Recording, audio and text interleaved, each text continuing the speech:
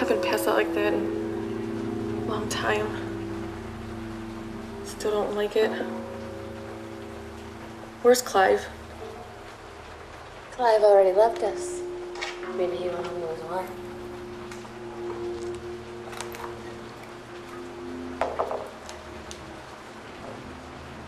Little hair of the dog that bit you. No, no more. You have any aspirin? Just a little. Do you listen? That was a fine vintage. Look, I'm, I'm sure we had fun last night.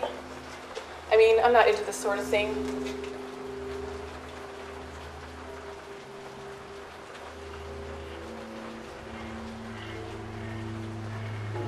I believe you've had enough. Ah!